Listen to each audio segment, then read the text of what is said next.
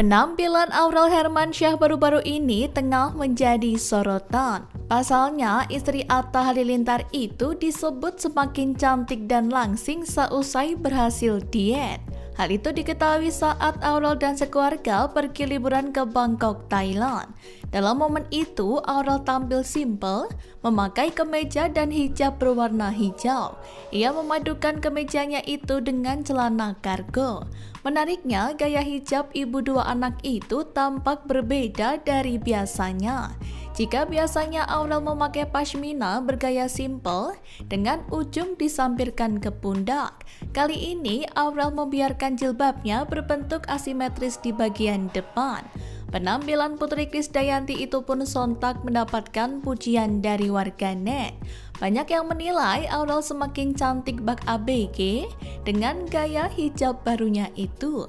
Apalagi Aurel juga kini tampak semakin langsing dan singset. Diketahui sebelumnya penampilan Aurel seusai melahirkan sempat dicibir.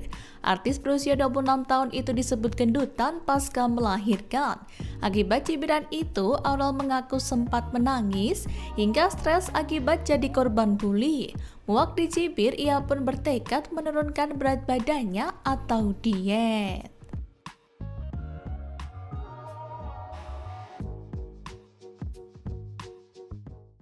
Download Tribun X sekarang, menghadirkan lokal menjadi Indonesia.